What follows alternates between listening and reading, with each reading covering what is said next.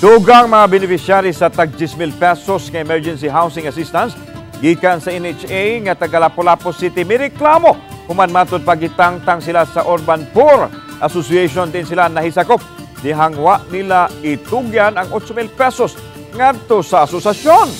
Siluan meron din na sa exclusive report. Dili!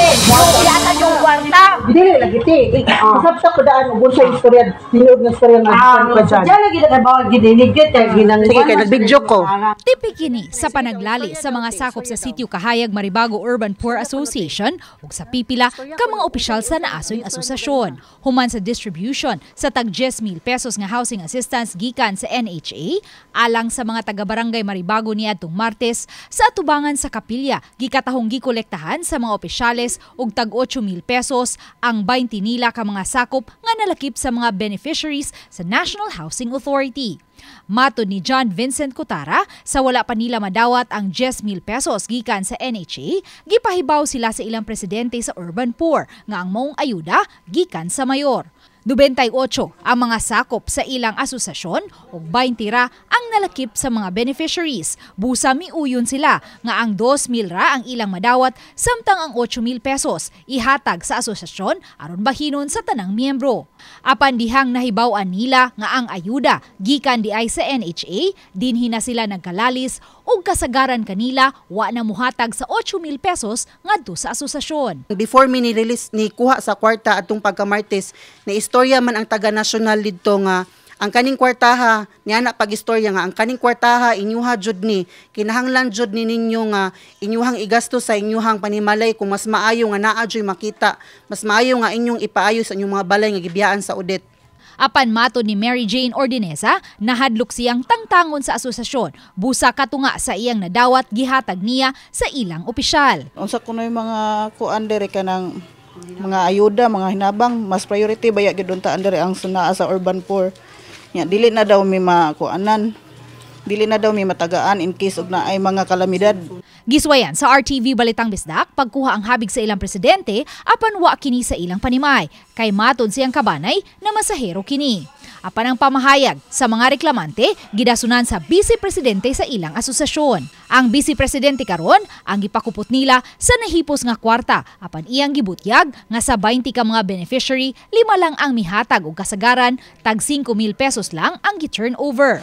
Iyang gipasabot nga siya mismo gitangtang isip beneficiary sa NHA tungod kay dili malakip ang mga beneficiaries sa tupad, UCT o 4Ps. Member makustupad so ako gihatag sa lain.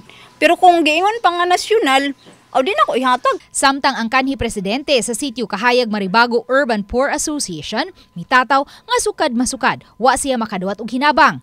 Gikan man sa syudad o baka sa national nga unta lakip man ang iyang panimay sa mga gipahapa sa bagyong Udet. Napaayom-ayom lang niya kini pinaagi sa abag sa usa ka langyaw nga naghatag og donasyon. Kung mayor, hantod karon mayor kini kung papel hantod karon pa may kadawat sa scan batch naman ron. Di ni nga na si mayor at tuwa si ang BMO ninyo sa Maribago katong head sa BMO si Lucio Soliano at tuwa parang ma-active ang imong papel aron makahadawat na kasi imong 5 mil. Gawa sa taga Barangay Maribago, mitsaba usab ang pipila ka mga beneficiary sa NHA nga taga Punta Enganyo human matod pa gitangtang sila sa ilang asosasyon kay wa mo turnover sa 9,000 pesos gikan sa nadawat nilang 10,000 pesos nga housing assistance. yang gitangtang kay kanang na wa pa siya kamove on lagi sa iyahang kuan nga wa mi apil og hatag sa JIS.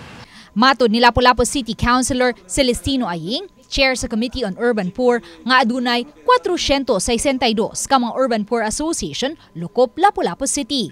Ang uban kanila adunay tag 300 ngadto sa tag 400 ang miyembro ug aduna pay uban nga miabot sa 600 ang miyembro. Ug kay 20 lang ang miyembro matag asosasyon nga nalakip sa listahan sa mga beneficiaries busa gikinahanglang pasabtod sila sa ilang mga opisyales. Apan giklaro ni Konsehal Aying nga way kamatuuran nga ang wa mo turnover sa 8,000 o baka 9,000 pesos nga housing assistance ngadto sa ilang asosasyon di na mahatagan og ayuda kung may kalamidad. Ah, di na tinuod. Anito po lang, doon ay right ang mga asosasyon panglitan kay palisiya man nas kada asosasyon nga na sila bylaws. Doon naman sila yung mga pamaagi dito nga panlitan mga mo lagi nagkiuna ko na first second third offense ug itiwalag sila sa grupo tungod kay naa sila tulo ka offense wa may labot na ila man na bid na nila. Pero mingon ka as calamity nga di tabangan wala pay kalamidad nga ang mayor mo tabang tanan ha. Samtang gipasubay karon ni Aying ang listahan sa mga beneficiaries sa tag 5,000 pesos gikan sa LGU nga giapod-apod sa mga biktima sa bagyong Odette ni atong 2022. Kini aron masayran kung tinuod ba ang pasangil ni Victor Hamura kanhi fire truck driver sa barangay Maribago. Si Hamura matod ni Aying Usa na karon sa mga driver sa garbage truck sa Dakbayan, busa imposible nga wa siya mahatagi og hinabang sa Dakbayan. Nagsugod ang pagpang-apod-apod sa second tranche sa NHA sa tag 10,000 pesos nga housing assistance ni atong Hunyo 4 ug mulungtad kini hangtod Hunyo 7 alang sa 6,383 ka mga beneficiaries. Wala pa hinuoy schedule kung kanusa ang ikatulong tranche. Wala mi nagsultian na nga ah, kay four piece ka or tupad ka or asa ka kang connected nga association tanggalon ka. No, wala gyud. Ang amo ra yung ground nga ma-cancel na siya is nagduplicate ang isa ka household og pangalan. Uban ni Marlon Melgazo o Rod Prado, Luan Merondina. Balitang Bisdak.